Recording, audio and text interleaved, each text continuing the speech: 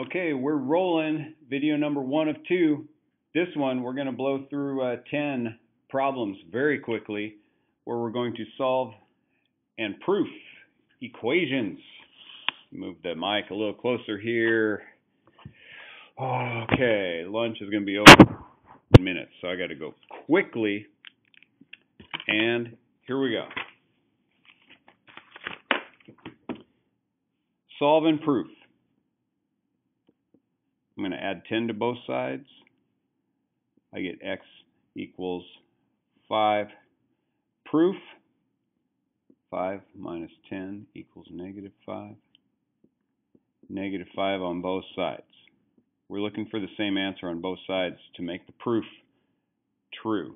Okay, there's the first one. Second one. See if I can keep them both on the screen.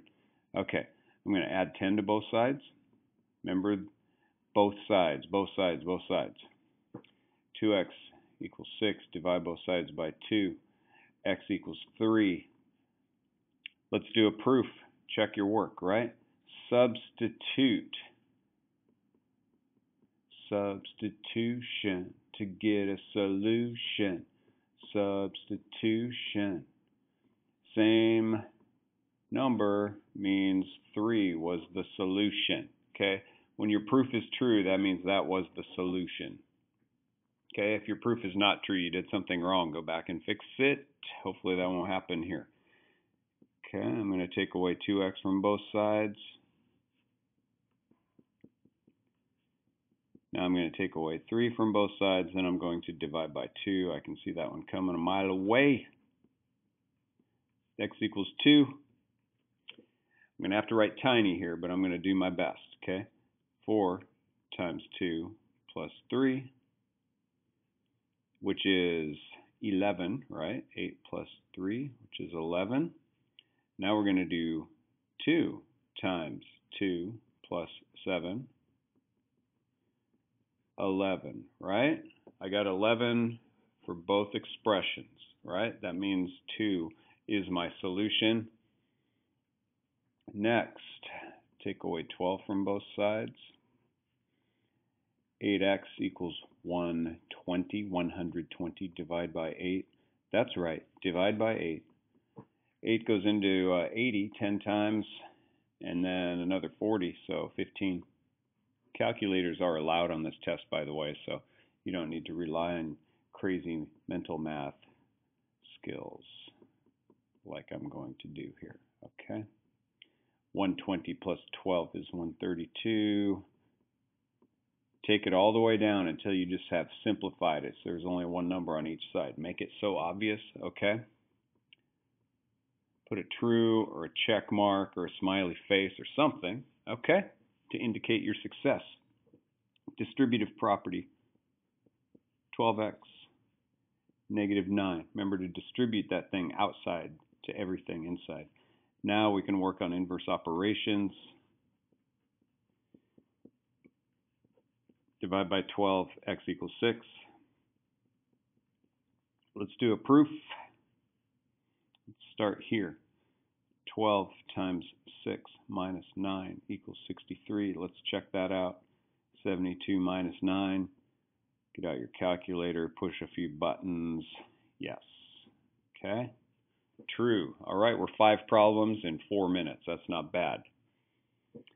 Here we go. They're getting more complicated though, which means I'm going to write smaller, distribute that 3, distribute that negative 5, distribute, okay, now I'm going to add 6x to both sides.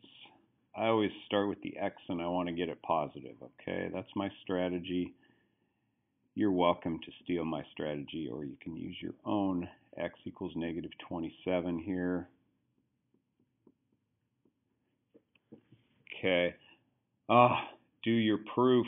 Do your proof. I don't have the space. I'm sorry.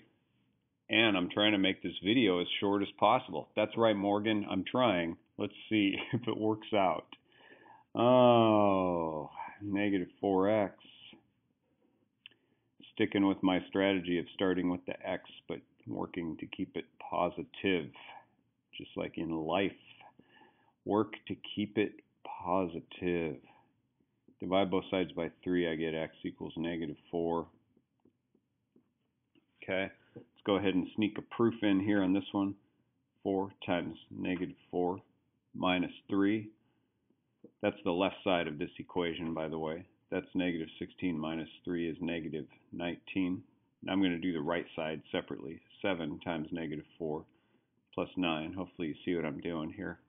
Negative 28 plus 9 is negative 19. Okay, since those are equal, that is true, and that makes negative 4 the correct answer. I forgot to circle my answers. I get a little uh, OCD about that. Okay, distributive property 4x plus 10 equals 33. There's still three minutes left before lunch is over. I think I can do this. I have to keep up the pace. Keep up the pace. Hey, on your test, go slowly, please. Take your time and make sure you're doing it correctly. Divide both sides by 4. Whoa, x equals 23 fourths, which is the same as 5 and 3 fourths, or 5 and 75 hundredths. Okay, I'm going to finish this video with no proofs because I want to finish this video before the bell rings. Make the second video at a later time today. To get these posted. I got to get them posted for you. Okay. 2x is negative 30. Guess what? x equals negative 15, right? Do the proof. Let me know if that's right. Post a comment if it's not. Please. I don't want to post bad information. 3x minus 4 equals negative 7. This looks like it's going to be a fraction. Plus 4 plus 4. Oh, I'm wrong. It's not going to be a fraction. It's going to be the easiest one on the whole page. Divide by 3. x equals negative 1. Please do a proof. Leave a comment or send me a message letting me know. Right? You can send me a message here. Send it to my school email if you can read my writing, that's the real challenge. K12.or.us. Send me a message if I did something wrong. This study guide is over. Stay tuned for the next one.